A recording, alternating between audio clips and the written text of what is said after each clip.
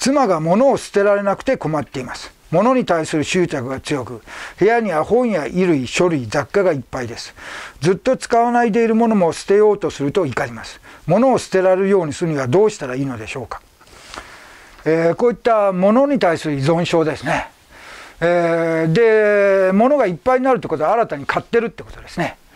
えー、そして逆に言うといらないものを捨てないってことですね。えこれはですね、精神的に寂しさとかね、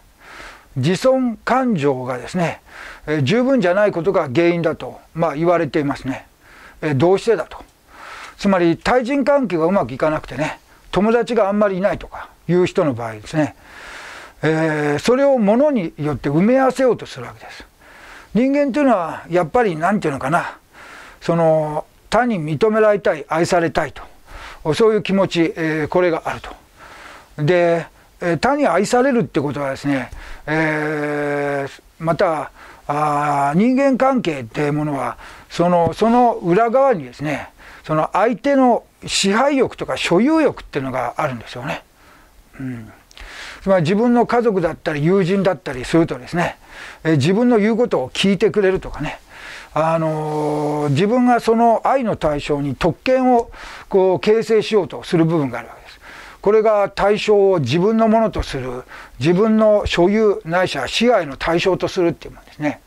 でもこれが満たされないわけです。これが満たされなくて苦しいってことです。それをですね物で埋め合わせるわけですね。自分のものをの所有を増やすと。そのものによって癒される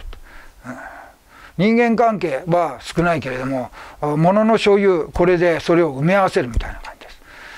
うん。ですからそういったものに対する依存症これになってるってことなんですね。えー、これが背景にあると思います。でこれを踏まえてですね対応していかなくちゃいけないなってことなんですよね。えー、そうするとですね要するに力ずくですね、えー、そのものをですね奪おうとするだけではですね、えー、そのものを欲しくてものなしではいられないっていうその彼女の問題は解決しないんですね。だから自分の大切なねその恋人とかねまた家族というのの埋め合わせでですねその自分の所有物を増やしてますからそれを奪おうとすると怒りますよね当然。えそういうことになります。自分を減らされてるような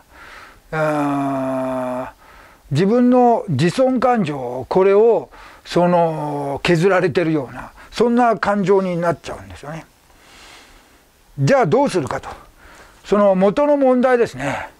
その元の問題、えー、これは自尊感情の不足愛情欲求が充足されてないっていうことだから本来はですねそういう状態はですね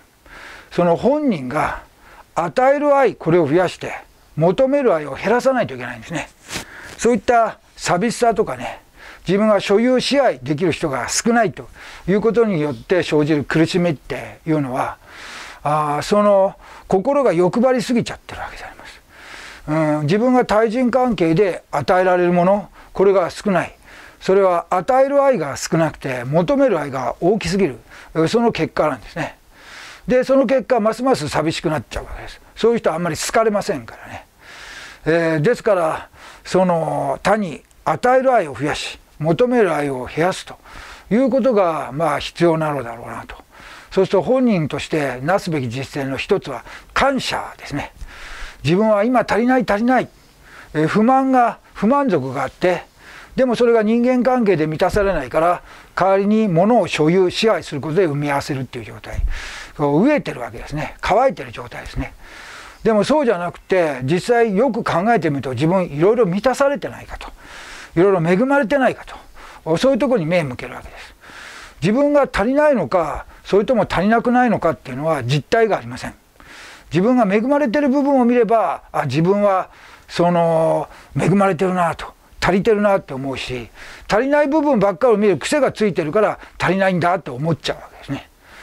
えー、今の日本にね平和で長寿で豊かな日本に住んでてですね、えー、大抵の人はですねその膨大な恵みを受けてるということが分かるはずなんですね。えそういった自分の幸福を見る訓練をして不幸ない部分を見ないようにする、幸福か不幸か、恵まれてるか恵まれてないかは、自分の心の持ち方、視点で決まります。幸福を見てる人は幸福になるし、不幸を見る人は不幸になるし、与えられてる部分を見れば、それが膨大だって気づくし、与えられてないものを、自分ではなくて、自分の妬みの対象の他人だけしか持ってないものを、ないし、自分がちょっと前持ってて今持ってないものばっか見てる人は、常に足りない足りないってなっちゃうんですね。ですから自分が幸福になるように、恵まれていると思えるようにものの見方を変える、えー、ということです。これがまあ例えばあ努めて感謝する実践をする努めて感謝する実践をする言い換えると自分があ幸福であってそれを多くの人が支えてるっていうことに気づくそういった側面を意識するってことですね。まあこれも一つ今日のテーマだったマインドフルネス気づきの瞑想ということもできます。ないしは悟りの瞑想っていうことも言います。悟りってのは何か作ることじゃないんですよ。悟りって気づくことって普通の意味でも言うじゃないですか。悟るってことは自分が幸福であることに気づき、不幸ではないことに気づくこと、これが悟りだと思います。今ここの悟りっていうのがあります。今ここで幸福になることが悟りだと。それは今ここですでに幸福であることに気づくことだと。そして苦しみと思ってたものは、実はその裏や先に喜びを生み出す作用が馬のような性質を持ってる。苦楽表裏である道理に気づくことだこれが悟りですね。今ここの悟り。えこういうものが得られればですね彼女変わっていけるんじゃないかと思います。で最後にいや彼女はそれは自分でそれを変えようとしてませんと。もう物で埋め合わせることに固執してしまって自分が何でそうなってるかの心理分析もできてないし、ましてや感謝の実践なんかできず、いつも不満を言ってて、で、私に対して物を減らせという私にも不満。不満で始まって不満ばっかりです。不満と怒りですとね。えー、それはわかるわけです。で、ですからやっぱりそうするとですね、その彼女、奥さんとですね、やっぱりそのコミュニケーションを図って、えー、で、このままで物がどんどん増えていってうまくいくとは彼女も思ってないと思います。簡単に言うとやめられないわけであります。それをやめるためにどんなことを考えるべきか、何が原因かっていうのをですね、少しずつ少しずつ対話によって気づかせていくような導き、これが必要になってくるかもしれません。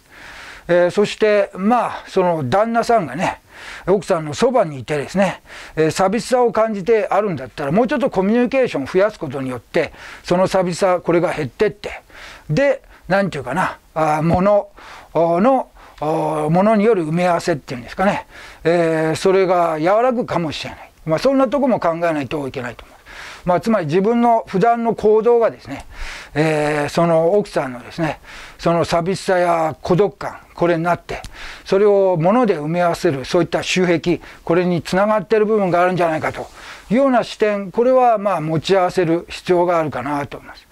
まあこうして自分と他人、その奥さんと共に共に変わっていこうってみたいな方向に行けば、まあ問題は解決できるかもしれませんが、えーえー、妻はもうどうしようもないやつでこんなんで本当に手焼いてるんですっていう感じだとですねその心の働きの結果は現状の継続になるんではないかなと思います。えー、まあ一応私が考えるところをお伝えしておきました。はい